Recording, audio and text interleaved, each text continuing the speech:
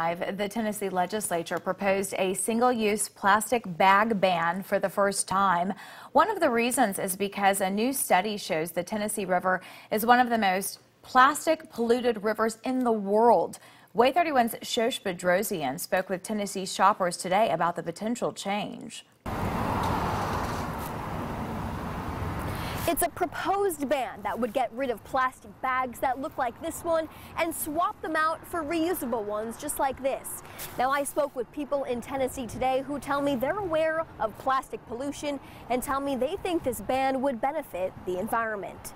I think it'd be a good thing for the environment, but we sure do use a lot of them here. I think it would be a good thing. It's a good start. The statewide bill would implement a single-use plastic ban, encouraging people to use reusable, thick plastic bags or paper.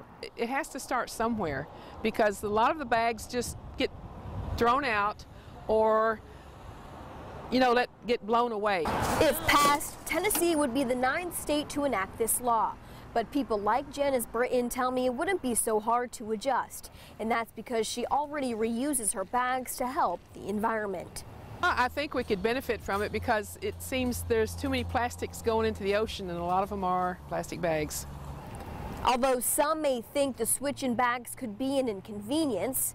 If we had a, a something to replace them with, you know, that would be that would be an ideal thing. Maybe that the customers would bring in cloth bags or you know, something like that. Reporting in Ardmore, the Bedrosian, WAAY 31 News.